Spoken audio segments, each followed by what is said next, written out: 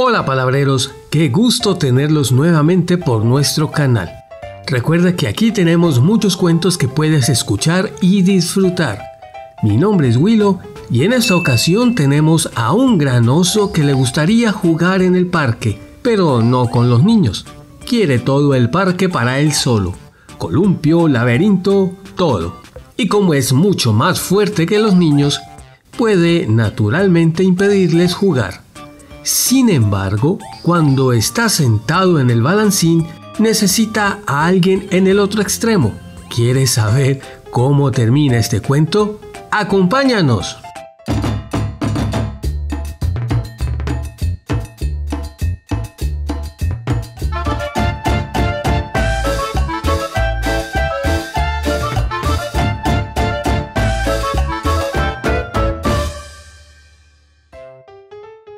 El oso en el parque de juegos.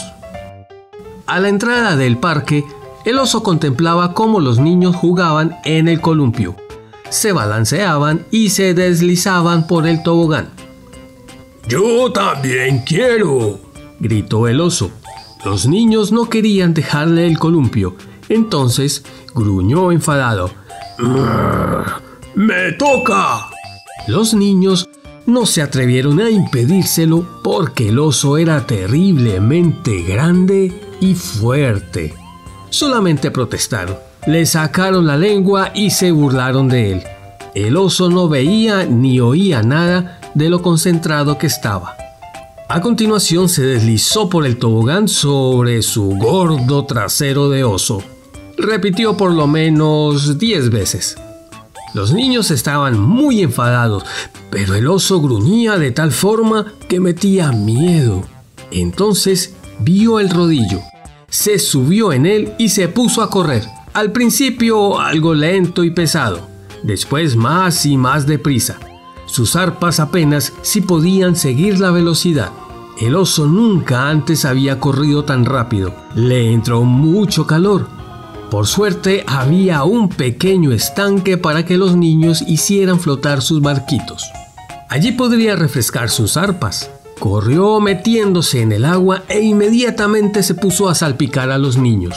A los niños todo aquello no les gustaba nada. Y pronto el oso también perdió el interés por jugar solo. Estaba hambriento y corrió hacia el carrito de los helados. Parecía tan grande y terrible que hasta el heladero salió corriendo.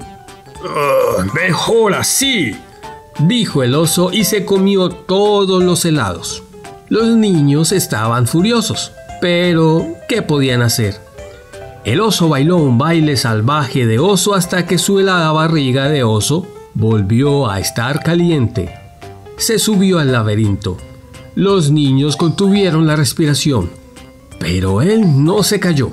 Al lado del laberinto estaba la barra de hacer equilibrios. Había que ser habilidoso y tener mucho cuidado si se quería caminar sobre ella. El oso se sujetó fuertemente con los dedos de sus pies y comenzó a caminar. A veces necesitaba remar con sus poderosos brazos para mantener el equilibrio. Los niños estaban callados como moscas y le miraban. Les habría gustado darle un empujón, pero él era demasiado pesado. Alcanzó el otro extremo sin caerse.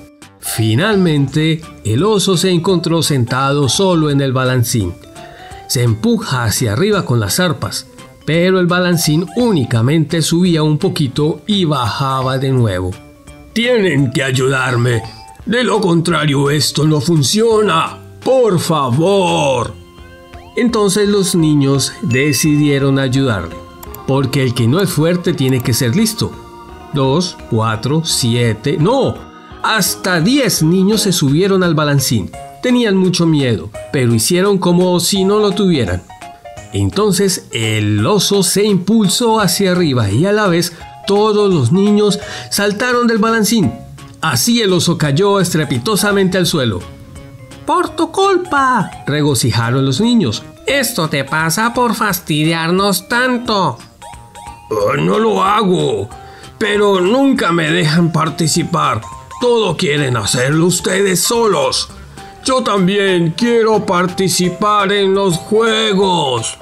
Se lo oyó tan desgraciado que los niños dijeron, Si eres bueno y no nos vuelves a hacer de las tuyas, jugaremos contigo. Y así lo hicieron. Los niños cabalgaron sobre su espalda, jugaron a atraparse y se columpiaron con él en el balancín. Juntos salpicaron en el estanque y juntos jugaron en la arena, hasta que llegaron las madres y los padres, las abuelas y los abuelos a recoger a los niños. Se encontraban a la entrada del parque de juegos y palidecieron del susto. ¡Un oso! ¿Lo están viendo? ¡Un oso en el parque! Un abuelo exclamó, Mmm, yo fui soldado, voy a buscar mi fusil y lo mato de un tiro. Por suerte los niños eran más inteligentes que los mayores. El oso cuida de nosotros, vigila nuestro parque de juegos y lo hace muy bien. Si es así, puede quedarse, dijeron los mayores. Bajo una condición, que me den miel todos los días, dijo el oso y se lo prometieron.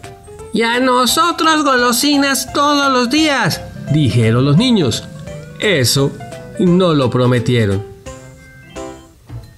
Estoy luciendo un diseño que nos envió desde Colombia Sara Nicole Pajoy Cantillo. Ella tiene 6 años de edad. Muchas gracias Sara Nicole por tu hermoso diseño.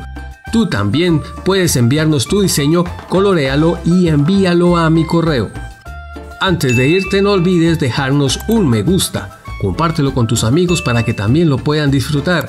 Y si eres nuevo en el canal suscríbete para que no te pierdas las narraciones de Abra Palabra. Hasta la próxima, palabreros.